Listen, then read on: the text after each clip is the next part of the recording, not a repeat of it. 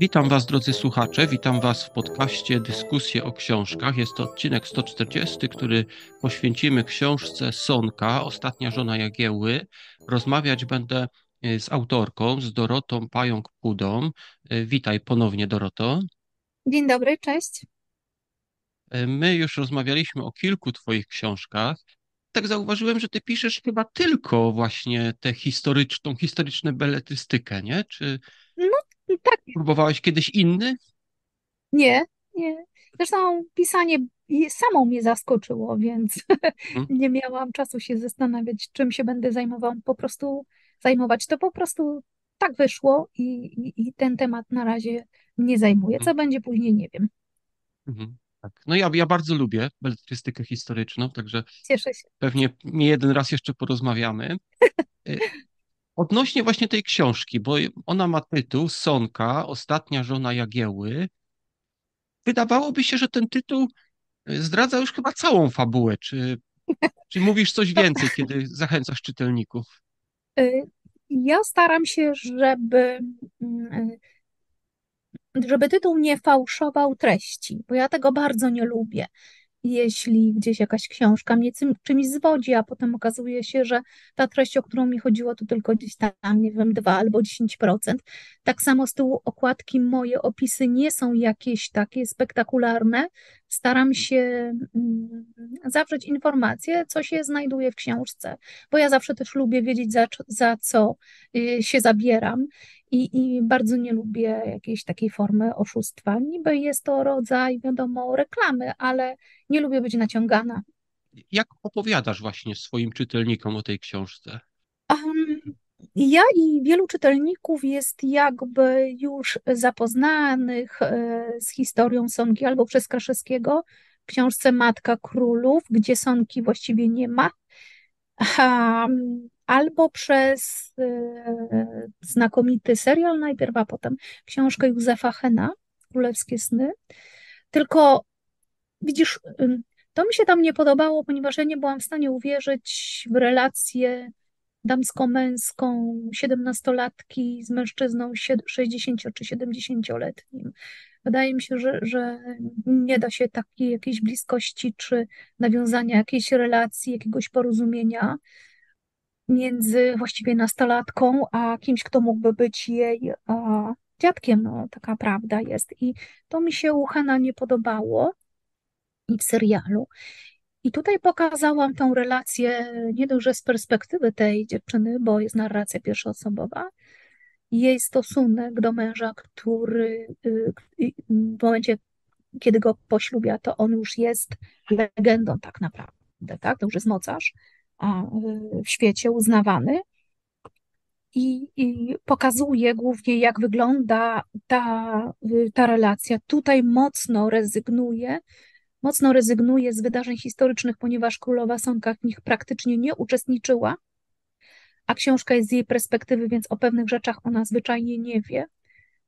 Tutaj interesuje mnie jej świat i postrzeganie dworu i swojego męża, swoich powinności według e, jej sumienia tak naprawdę i osobowości, bo zaczynamy, kiedy ona jest młodziutką dziewczyną, a kończymy oczywiście na śmierci. Ja, moje powieści biograficzne zawsze się kończą na śmierci bohaterek, ponieważ nie lubię biografii, mm, które na przykład opisują tylko dwa lata życia, trzy czy, czy cztery.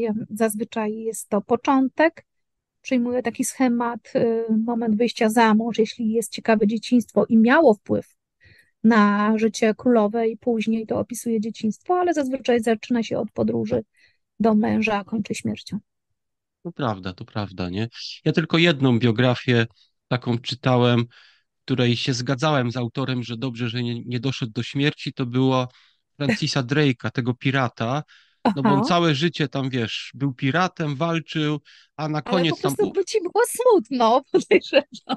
Nie, nie, on, je- jego śmierć była taka nijaka, bo on tam chyba na ospę umarł czy na coś, wiesz, także taka śmierć nijaka była, nie pasowała jakby do jego życia, nie? Wiesz, Ale ja ciebie też rozumiem, bo y, na przykład uwielbiam Agatę Christie i Poirot i wiele lat unikałam przeczytania ostatniej powieści Kurtyna, w której umiera Herkules Poirot. Po prostu bałam się przeczytać o jego Mhm. śmierci. Tak, człowiek jakoś tak przyzwyczaja, nie? Zresztą to Mhm. są takie smutne momenty i, i ja w, wszystkie twoje książki, które przeczytałem właśnie, kiedy dochodzisz właśnie do tego momentu, no to jest taki straszny żal, nie? No bo na, tak fajnie Mhm. stworzyłaś te postacie, że człowiek się przy, przyzwyczaja do nich, no i no smutno się po prostu robi, nie? No ale no takie, takie życie jest, nie? To... No wiesz, co by to było za czytanie, gdybyśmy e, nie polubili bohatera. No. I teraz wracając właśnie do tej postaci, do Mhm. Sonki, e, kim ona była? Bo niektórzy mówią właśnie, że to księżniczka litewska, inni mówią, że księżniczka ruska. Ja- Jak Mhm. ty byś ją określiła? E, I, I każdy ma rację, tak bym Mhm. powiedziała.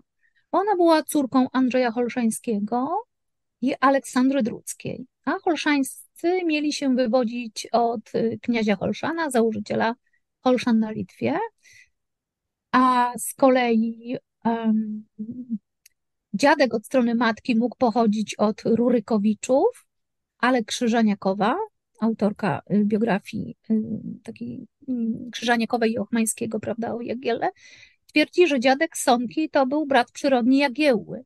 Także tutaj do końca nie wiemy, czy, czy to, y, czy w żyłach jej matki płynęła krew kniaziów y, y, ruskich, czy jest to tylko kwestia wyznania tak zwanego, znaczy nie tak zwanego, tylko prawosławnego i, i w tym momencie określanego jako wyznanie ruskie, tak?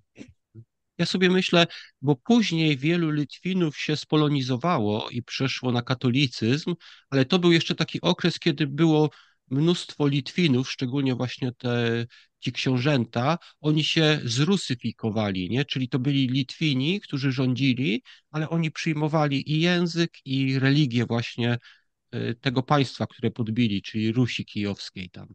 No, ci powiem, że ostatnia biografka Zofii Holszańskiej, pani Czwojdrak, ona nie rozstrzyga tej kwestii.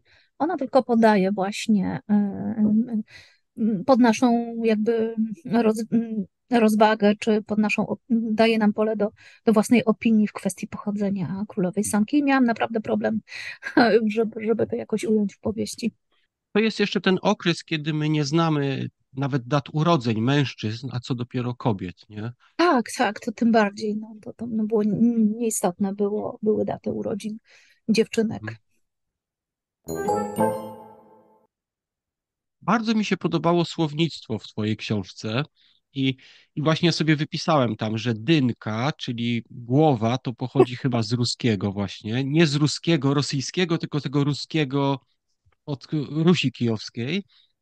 No tak, bo Ruś to nie mów. Cena jest chyba z łaciny, Tak. cena, czyli kolacja to by była chyba, albo obiad, nie? Mhm.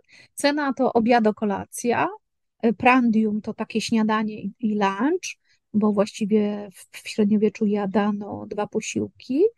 Może królowa Jadwiga Andegaweńska pozwalała sobie na trzeci posiłek, tak zwany kolacjo, czyli, czyli kolację. O, I tak, no, no, no, no, no, przyjęło się y, z łaciny. Tak samo Praucymer nie ma odpowiednika. To tak jakbyś dzisiaj, nie wiem, mówił interfejs, że jest to międzymordzie, tak? Tak samo jakby się e, komputer to komputer, tak? Nie nazywamy tego maszyną liczącą po polsku czy, czy, czy w jakimś innym języku. Praucymer tak się przyjął, jest jakby, można powiedzieć, nie, nieprzetłumaczalny, nie ma potrzeby, tak? Tak samo Prandium Cena, gdzie one już tam pod koniec XV wieku już chyba też wy, z obiegu wy, wypadają te, te zwyczaje. Czy mi ta cena właśnie pasuje, znaczy łatwo ją rozumiałem, bo Mhm. ja się uczę hiszpańskiego, a tam jest, y, pisze się dokładnie tak samo. Cena, czyta się troszeczkę, inaczej, bo Mhm. czyta się sena, y, to jest właśnie, właśnie. taka obiado-kolacja właśnie takie ten, nie?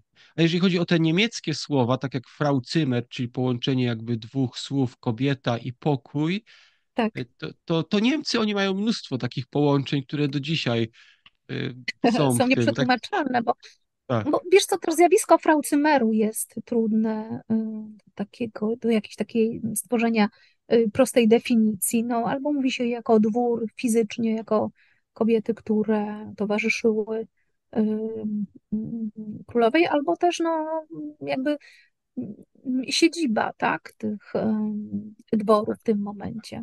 Nie, no bo to, to chyba się odnosi do wszystkiego, nie? Bo często na przykład jak mówimy Warszawa, to możemy mieć na myśli miasto Warszawa, ale możemy mieć też na myśli stolicę, czyli nie wiem, prezydenta, Sejm, czy tam mhm. jakieś urzędy, które są, czy, czy ogólnie nawet Polskę można ktoś mieć na myśli, mówiąc Warszawa, nie? Mhm. Coś tam zrobiła. Także podobnie tutaj było, że ten Frau Zimmer to mógł być i miejsce, ale także osoby, które były w tym miejscu, nie? Ale współcześnie też mamy wiele, wiele y, używamy słów z obcych języków. Mhm. Przeróżnych. Tak. Chociaż wszyscy mhm. zakładają, że wszystko jest z angielskiego, ale w momencie, kiedy, y, kiedy uświadamiam, że najczęściej jest to łacina lub greka, to wszyscy się mocno dziwią. Mi szczególnie właśnie ta dynka się podobała, nie? Ten opis właśnie, kiedy przedstawiasz swoją bohaterkę, kiedy ona y, używa właśnie tego słowa dynka, jest naprawdę przezabawny. No tak, bo, bo akurat wyrazami się też bardzo wiele pokazuje. Bo co to oznaczało? Że mówię, dziewczyna była młoda, dziewczyna miała poczucie humoru i skłonność też do samokrytyki. No, wydaje mi się, że akurat był na miejscu, y, na miejscu ten wyraz. No i okazało się, że rzeczywiście tak, skoro zapamiętałeś. Ty w swoich książkach przedstawiasz właśnie historię z punktu widzenia kobiet. Kobiety miały, no, trudno się żyło w tamtych czasach. Zresztą mężczyźni też pewnie nie mieli jakoś łatwo, ale chyba troszeczkę lepiej. Y, jednak tutaj przedstawiasz jakby dwa kraje, bo zaczynamy na Litwie, konkretnie właśnie na tej Rusi, która jest pod kontrolą Litwy, i potem przenosimy się do Korony, czyli do Polski. Czy myślisz, że kobiety na Litwie miały jednak gorzej niż w Polsce? A zacznijmy od tego, że mm, kto miał lepiej, kto gorzej. Ja y, pisząc takie książki, bo często spotykam się, że ktoś chwali mnie albo dla, za feministyczne podejście, albo gani wręcz za feministyczne podejście. Ja uważam, że um, ani jedna płeć nie jest lepsza, ani druga. Wydaje mi się, że książki nie powstają na zasadzie jakiegoś mojego założenia, tylko na podstawie faktów. I gdzieś y, czytałam, jeśli chodzi o sytuację kobiet na Litwie, porównując y, z Polkami, Litwinki pod względem kulturalnym były jakby bardziej śmiałe. W Polsce szokowało środowisko, zwłaszcza kościelne, które przyzwyczajone było do kobiety powolnej, czyli posłusznej, gdzieś głębiej zakrytej. Szokowało to, że mm, dwór młodej królowej czy to żony Kazimierza Wielkiego jeszcze tańczy i śpiewa, tak? Mm, I, śmieje się głośno, co było wręcz niedopuszczalne. Więc powiedzmy, że mm, mogły sobie pozwolić y, na Litwie na więcej. Też później wychodziły za mąż, chociażby żmudzinki, ale y, wydaje mi się, że tutaj właśnie ta kultura katolicka, troszeczkę w ryzach, czy nie, nie troszeczkę, ale trzymała w ryzach tą kobietę y, powolną, cichą. A wielką wadą Polki było w moment to, że głośno się śmiała, pokazywała zęby, nie mówiąc o tym, jak niedopuszczalne było y, własne zdanie, czy też mocno krytykowano i mocno się nie podobał kobiecy zgiełk tak zwany. No widzisz, ja patrz, myślałem odwrotnie. To znaczy ja tam e, patrząc na, bo ty podajesz właśnie dwa jakby takie przykłady, takie mm, case study, e, najpierw Sonki i jej relacji z Jagiełą, jak była traktowana, no, no nie była może jakoś super dobrze traktowana, ale no nie miała też jakoś źle, a potem jest opisana sytuacja jej siostry, nie? O, tak. Nie wiem, czy można te, te dwie te, te studia przypadków, te dwa przypadki można traktować jako coś, że tak było w Polsce, jak była traktowana Sonka, a tak było na Litwie, jak była traktowana jej siostra, czy to po prostu takie przypadki Znaczy były? ja, ja można, y, można potraktować jako przypadki niezależne od granic i od państwa. Hmm. Przemoc y, istniała i istnieje do tej pory, a szczególnie y, przemoc wobec kobiet, więc ja tutaj w przypadku Marii chciałam pokazać i jak to mogło wyglądać, porównując y, mniej więcej podobny status tych kobiet, tak? Jedna i druga zamożna, jedna i druga, y, wiadomo, że mężowi Eliaszowi nie równać się z Jagiełą, ale powiedzmy, że to kobiety, powiedzieć, a one mają łatwiej, tak? One są z elit, ale pokazujemy przypadki i to, że władza czy majątek nie mają wpływu na to, z kim się zwiążesz. Hmm. A to już ma wpływ na twoje życie. Czasami ludzie z ludu mieli nawet chyba łatwiej, jeżeli chodzi o wybór partnera małżeńskiego, niż właśnie ci ludzie u samej góry, bo oni często nawet nie mogli decydować o tym, nie? Ale tutaj też, bo jeśli weźmiesz pod uwagę jakiś cech, załóżmy jakiegoś konkretnego rzemiosła, no to tam też skłaniano, się, skłaniano się ku temu, by był to ktoś podobnej branży, żeby zachować majątek. No, no hmm. a przecież dynastie podobnymi kryteriami się kierowały, tak? Tylko tutaj było, no, no jest to powiedzmy ta elita dworska, tak? Czy dwór królewski, ale tutaj też dziewczęta, które wychodziły za mąż, nie wiem, za słodownika, za piwowara czy białoskórnika, mm, no raczej też trzymano się w tej grupie cechowej i, i zawierano małżeństwa. Wracając do naszej Sonki, czyli Zofii, jakbyśmy powiedzieli po polsku, y, tutaj taką ciekawą rzecz przedstawiłaś. Czy, czy ona była znachorką, czy ona potrafiła leczyć, jak oczywiście jak na tamte czasy, jak na tamte możliwości? Y, nie, to był mój wybór, ale takie wybory też nie są przypadkowe. Chciałam pokazać, że na ile mogła sobie pozwolić kobieta, która na przykład interesowała się medycyną. Hmm. Tylko na tyle. Załóżmy na sporządzenie jakiegoś ziołowego leku na przykład. Dlatego w epilogu, gdzie jest już rok 1905, jakby ta sonka, która jakby no, mm, odradza się e, na początku XX wieku zgodnie z kochanego, zobacz, ona już jest lekarką. Mhm. Nie wiem, czy zwróciłeś uwagę. Tak, tak, to był ciekawy wątek. Tak, tak to mhm. ona już jest w tym momencie lekarką. Chciałam pokazać, na ile sobie mogła pozwolić w tym momencie kobieta, mhm. która się interesowała na przykład medycyną. Ale że no. czy Sonka y, y, interesowała się ziołolecznictwem, nie ma na to żadnych dowodów.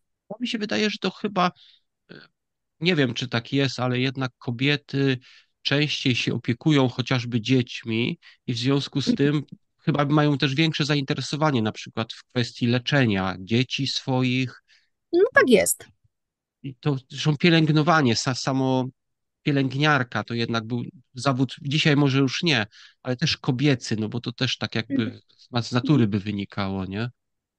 No tak, ale bardzo wynika. ciekawy wątek to był, bardzo mi się podobał i taki jest, jest ciekawy z jednej strony, ale też niebezpieczny, no bo kobieta, która potrafi leczyć, no to ludzie się spodziewają, że potrafi też zabić, nie? Czyli no, pamiętaj, ktoś... to, to, to był przemyślany, to była przemyślana cecha, tak powiem. Mhm, tak. Zofia czy Sonka jest znana w Polsce właśnie z Biblii. Biblia Królowej Zofii to była chyba pierwszy przekład całości, nie? My, on nie dotarł niestety do naszych czasów, nie mamy jej w całości, ale... A wiesz co, ona też nie widziała jej w całości, ona ją zleciła w 450 roku, postępował e, bardzo szybko następowa, następował ten przekład, a chyba nawet naraz, tak jak to dokładnie opisałam w powieści, naraz pięć osób e, przepisywało karty, więc ona miała możliwość podglądania tego procesu twórczego. Na szczęście, tak. Myśli, myślisz, że widziała tą, bo, bo jest tak, historycy się kłócą, tak, nie? Tak, jestem pewna, że widziała, tak. No, no wiesz, ja tutaj nie wymyśliłam tej sceny. Mhm. E, właśnie jak czytałam w, w jednym z artykułów mm, na temat właśnie oryginału i wersji online tej Biblii, to właśnie było na temat e, warunków powstawania tej Biblii, więc scena no, nie jest no, scena zapisana na faktach, jak, jak wszystkie moje książki. Tam się tylko nieliczne sceny się jakoś tak dzieją. Um, musiały się wydarzyć. Musiałam je wymyśleć po prostu, bo były tylko prawdopodobne. Ja się też zastanawiałem nad tym, dlaczego powstała ta Biblia, i sobie myślałem właśnie, że to chyba właśnie dlatego, że ona pochodziła jednak z tego wschodu, czyli bo księżniczka w naszym rejonie, czyli na przykład z Polski, nie wiem, z Węgier, prawdopodobnie znałaby łacinę i mogłaby sobie czytać Biblię po łacinie, bo wtedy Biblii łacińskiej by, były dostępne, a ona, ponieważ pochodziła właśnie z tego wschodu, tam gdzie prawosławie, tam prawdopodobnie tą grecki pewnie mogła znać jakiś. Ona a... się uczy czytać, nie, nie wiem, czy, no bo jest w powieści, że ona dopiero po przyjeździe do nauczyła się czytać. Hmm. No, to nie jest y, taka romantyczna sprawa y, Biblią, jak ja piszę w książce, że zwyczajnie doznała olśnienia, patrząc na inne pismo, skąpane w blasku księżyca, ale tak naprawdę ktoś doradził jej, żeby po prostu zwyczajnie zapunktowała tym. I, i, w Radzie Królewskiej, tak, i wśród duchowieństwa, i, i wśród poddanych, gdyby taka wieść się rozeszła, że prawda, mamy tutaj Biblię od, od naszej królowej Zofii w języku polskim. Był to gest czysto pragmatyczny. Mhm. Mm, tłumaczenie tej, tej, tej Biblii. Ale to, to jest ważne, bo to jest nie tylko ważne w kwestii religijnej, że pierwszą Biblię mieliśmy po polsku, ale też w kwestii no, kulturowej. To był po prostu świetny pomysł, no przecież nikt tego nie neguje, tylko mówię, że mogło to nie wypływać z jakiejś romantycznej przesłanki, tylko po prostu mhm. zwyczajnie ktoś dobrze doradził królowej. Może i gest PR-owy, ale świetny. W książce o, oczywiście Sonka, Jagiełło, są takimi najważniejszymi postaciami, które są, ale pojawiają się też y, na krótko. Ja zwróciłem uwagę na Eryka Pomorskiego. To jest, to jest taka postać, która pojawia się na krótko, ale no ja polubiłem go. Pomimo jego wad, taki, no nie wiem, da, dało się go polubić. I no, właśnie akurat... Tak, tak? Ty nie lubiłaś go? Lubiłam. Lubiłam, dlatego go przedstawiłam jako taką, a nie inną e, mhm. osobę ciekawą. Zresztą ja go polubiłam i on polubił Sonkę w mojej książce. No i przecież Eryk Pomorski, król duński, Eryk Duński, on nam towarzyszy cały czas, bo przecież wieża duńska na Wawelu pochodzi od jego imienia. Mhm. Ja gdzieś wyczytałam, że on no, był dość rozrywkowy mężczyzną, był bardzo ciekawy. Po śmierci swojej żony ożenił się z, z no powiedzmy, że, że był to rodzaj mezaliansu, miał wszystko w nosie, spędzał z nią e, miło czas. Um, I co jeszcze? A Eryk Pomorski jest taką naprawdę ciekawą postacią, ponieważ został zaadoptowany. Jego historia jest ciekawa. Miał na imię Bogusław, tak, mhm.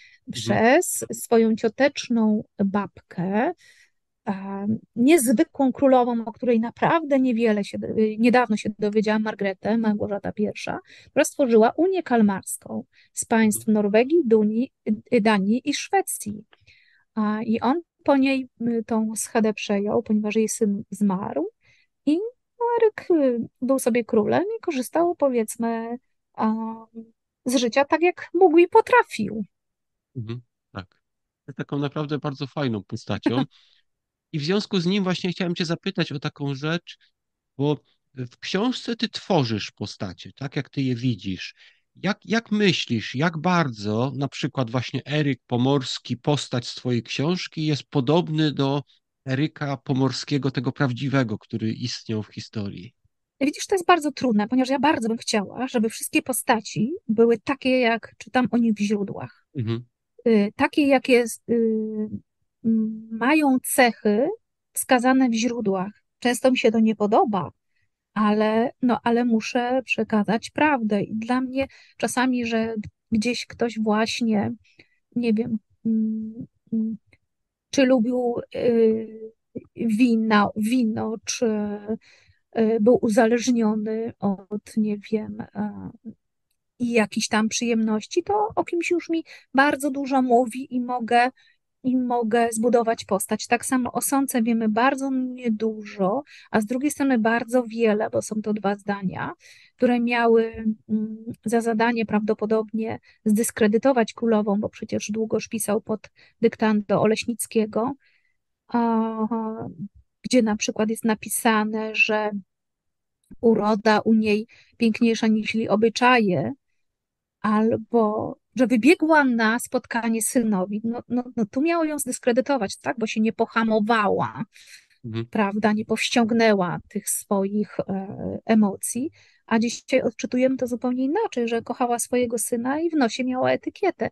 Więc to mi już powiedziało po prostu praktycznie wszystko o tej, o tej kobiecie. I no i gdzieś jeszcze pojawiła się, pojawiło się to jej właśnie ta uczuciowość, że potrafiła przytulić tego swojego syna, do tego była piękną kobiet, kobietą, no to jakąś taką chciałam stworzyć y, mm, królową niezwykle, niezwykle kobiecą, zupełnie inną niż na przykład, y, która też była wspaniałą kobietą, Elżbieta Rakuszanka, która no, posiadała inne cechy, tak, powiedzmy się, no tak. wybijały, a przy okazji się bardzo, bardzo przyjaźniły, też zacznijmy od mhm. tego tak mhm. naprawdę. I ta moja sonka, ja ją bardzo lubię i wielu mężczyzn, którzy czytają sonkę, mówią, że bardzo, no dla mnie to był komplement, bo ktoś mi powiedział, że moja sonka jest bardzo kobieca.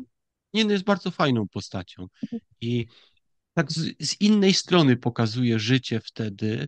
Tak jak mówisz, nie ma tu może wiele wydarzeń, y, szczególnie za życia Jagiełły jeszcze wydarzeń mhm. historycznych, on tam robi różne rzeczy, ale po, potem więcej Tak, ale to jest poza nią, się... ponieważ jest to usprawiedliwione, mhm. wiesz? Ponieważ tak. ona nie uczestniczy w tych wydarzeniach. Ja chciałam ją pokazać właśnie troszeczkę jak jest zagubiona w tej rzeczywistości. Przynajmniej na początku, bo w momencie, kiedy traci męża, kiedy zostaje sama, ona musi wejść tą, tą, w tą rzeczywistość, przebija tą dworską bańkę, w której żyje i musi zająć się swoimi dziećmi. Zresztą ja też niedawno zauważyłam, że tak naprawdę te dwie powieści, Matka Jagiellonów i Sonka, to są powieści, to jest całe życie Kazimierza Gilończyka. Ja, ja właśnie o to chciałem cię też zapytać, bo napisałaś, najpierw napisałaś Matkę Jagiellonów, czyli y, życie Elżbiety Rakuszanki, a potem właśnie Sonkę, czyli jej teściową Elżbiety i tam się powtarzają pewne wydarzenia. Ja tak myślałem, że pewnie będę się trochę nudzić czytając Sonkę, no bo będę czytał o tym samym, co już czytałem w Matce Jagiellonów. A ty jednak to opisałaś tak, że no nie nudziłem się nic, że niby było to samo, ale jednak inaczej, nie? Tak, bo mnie fascynuje spojrzenie y, kilku osób na, na mm, tę samą rzeczywistość, nawet tę samą scenę. W sumie tak naprawdę niedawno odkryłam, że jeden prosty komunikat każdy może odebrać zupełnie inaczej, co mnie zdziwiło mocno. Nie zdawałam sobie z tego sprawy i pod tym kątem chciałam opisać ważne wydarzenia w życiu Sonki i Elżbiety, gdzie um, Matka Jagiellonów Elżbieta opisuje daną scenę pod kątem wydarzeń i swoich emocji i podejrzeń co do emocji innych ludzi, a tutaj chciałam pokazać tę samą scenę dokładnie z perspektywy Sonki i okazuje się, że sceny wybrzmiewają kompletnie inaczej. Ja myślę, że to jest tak naprawdę fajne uzupełnienie, bo matce Jagiellonów tam ta Elżbieta Rakuszanka na przykład czeka, aż mąż się zdecyduje na coś i znaczy tak. w ogóle na małżeństwo, bo tam do, na to czekali. tak, a, tam... a tutaj mamy na przykład wyjaśnienie, że na przykład jedna zwłoka była spowodowana tym, że tam się kłócili, nie? Bo tam była kwestia tak. tego kościoła wielkopolskiego i tego kościoła małopolskiego, czy, mm, czy arcybiskup jest ważniejszy, czy kardynał, nie? Tak, czy no, Oleśnicki naprawdę kompromitował się wiele razy i ja naprawdę nie musiałam go jakoś specjalnie namawiać się do tego, żeby go mm, znielubić. Po prostu no, fakty przyczyły przeciwko niemu, a zresztą napuszony styl mm, y, kroniki Długosza i, i, po prostu zwyczajnie widać całe akapity, które Oleśnicki dyktował. No, no po prostu delikatnie mówiąc są żenujące. Było, nie? To jest jednak taka postać którą chyba trudno polubić, Oleśnickiego. Mm. Tak, tak, tak, tak. E, ja ten, ja tak właśnie do, do naszych słuchaczy chciałem powiedzieć właśnie, że gdyby ktoś z was też miał takie właśnie dylemat, czy czytać teraz na przykład Sonkę po przeczytaniu Matki Jagiellonów albo odwrotnie, no to ja myślę, że naprawdę tak, że wydarzenia się niby powtarzają, ale jednak jest inna perspektywa mamy inne informacje, bo każda z tych postaci wiedziała co innego, nie zawsze przekazywała tej drugiej. Dokładnie tak. Mhm. Także naprawdę jest to świetne uzupełnienie i obie książki są naprawdę dobre. Y, ja tutaj nie chcę spoilerować, bo Dzięki. y, zakończenie, my tam troszeczkę wspominaliśmy już o tym, ale o zakończenie życia Sonki y, jest z jednej strony smutne, ale z drugiej strony ty tam przedstawiasz kwestie, no takie romantyczne bardzo i powiem ci, że naprawdę mm, nie, nie myślałem właśnie, że w książce właśnie o żonie Jagieły, który w ogóle był strasznie taki zazdrosny, no raczej właśnie tak jak mówisz, trudno się spodziewać, że 70-letni mężczyzna, y, że, Po przejściach. Tak, tak. że ten, a jednak udało ci się wstawić tutaj też romantyczną historię do... Ale ta romantyczna historia jest jak najbardziej prawdziwa. Mhm. Jedyne, czego się mm, nie możemy powiedzieć jednoznacznie, czy Jan Hincha był w wieloletnim związku z królową, no nie możemy odpowiedzieć na to pytanie, chociaż bardzo, bardzo wiele na to wskazuje. I takim jakby obuchem w głowę jest moment, kiedy wchodzimy do katedry wawelskiej.